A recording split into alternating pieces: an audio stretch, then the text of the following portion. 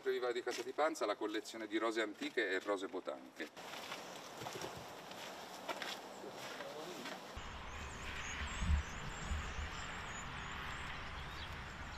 Parliamo della robbia, parliamo del guado, parliamo della ginestrella, eh, era quello il periodo, non c'erano colori di sintesi ma bensì pigmenti solamente naturali.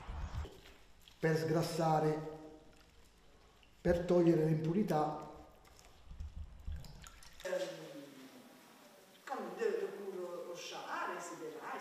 Là, on voit qu'ils portent des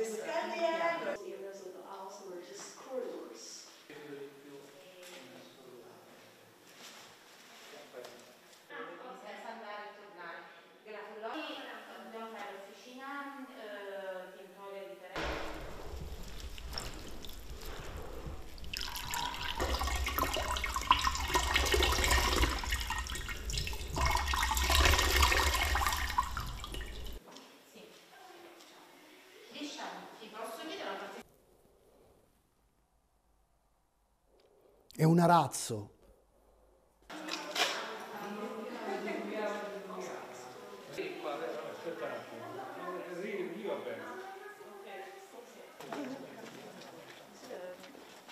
Io sono